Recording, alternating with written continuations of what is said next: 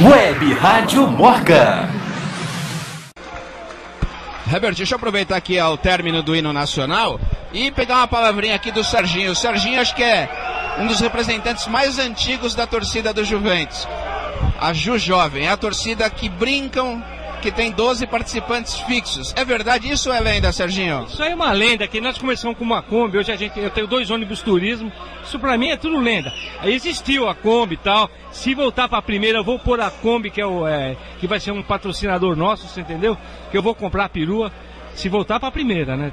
Não, a expectativa é boa. Vamos, Juventus subindo este ano, o ano que vem disputa a 2 e em 2014, ano de Copa do Mundo, já estaria na primeira divisão. E aí, se Deus quiser, tem um campeonato brasileiro também da Série D, né? Que se for pra um é Série D. Tem ainda a Copa Paulista. Copa Paulista, tudo isso aí. E vale lembrar que a Copa Paulista dá vaga na Copa do Brasil, o caminho mais curto para a Libertadores. Exatamente. Aí nós vamos rumo ao Tóquio. Obrigado, Serginho. Prazer imenso ter aqui você, viu? Ah, obrigado, um abraço pra todo mundo aí, tá? Estou à sua disposição. Obrigado, Serginho. É com você, Herbert. É isso aí, rumo a toque, eu tô junto também. Web Rádio Morca.